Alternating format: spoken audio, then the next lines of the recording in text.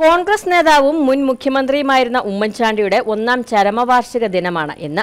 പുതുപ്പള്ളിക്കാർക്കും കോട്ടയംകാർക്കും മാത്രമല്ല ഇടുക്കിയിലെ ഉമ്മൻചാണ്ടി കോളനി നിവാസികൾക്കും ഉമ്മൻചാണ്ടിയുടെ നിര്യാണം തീരാ ദുഃഖമാണ്.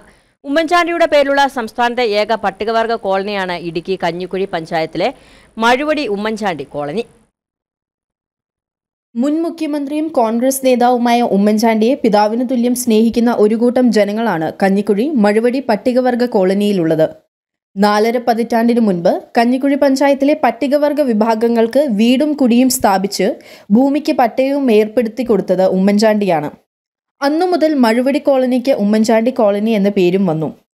തങ്ങളുടെ നേതാവ് ചരമം പ്രാപിച്ച് ഒരു വർഷം പിന്നിടുമ്പോഴും ഉമ്മൻചാണ്ടി മരണമടഞ്ഞതായി ഇപ്പോഴും ഇവർക്ക് വിശ്വസിക്കാനാവുന്നില്ല. പല കുറേ ആൾക്കാർ അങ്ങനെയാണ് ഈ പട്ടയത്തിൽ ഈ പട്ടയത്തിന്റെ അവിടെ വെച്ചിട്ട് ഇവിടെ കയ്യാല കെട്ടാൻ പറ്റുന്നത് ഏഹ് മൂവായിരം രൂപ മൂവായിരത്തി അഞ്ഞൂറ് രൂപ അന്നത്തെ ഒരു പട്ടയത്തിന്റെ ഒരു ഒരു ബോട്ടിൽ ബ്ലോട്ടിലൊക്കെ ഇട്ടിട്ടുണ്ട്. പട്ടയത്തിൽ കല്ല് കെട്ടിട്ടുണ്ട് ആയിരത്തി തൊള്ളായിരത്തി എഴുപത്തി ആറിലാണ് പട്ടികവർഗ വിഭാഗങ്ങൾക്ക് മഴുപടിയിൽ ഭൂമിയും വീടും അനുവദിച്ചത്.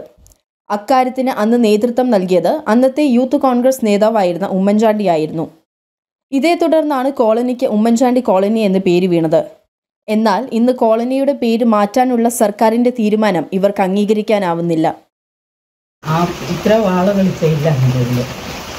ഈ ഭൂമി ഉണ്ടാക്കി തന്ന ആളുകൾ ആരും തന്നെ അന്ന് പേരും പോയി അപ്പം അന്നത്തെ പേര് ആ പേര് ആര് പറഞ്ഞാലും മനസ്സിലാക്കി തങ്ങളുടെ നേതാവിന്റെ മരണം മരുവടി കോളനിക്കാർക്ക് എക്കാലവും താങ്ങാൻ കഴിയാത്ത അഘാതമാണ് സൃഷ്ടിച്ചത്.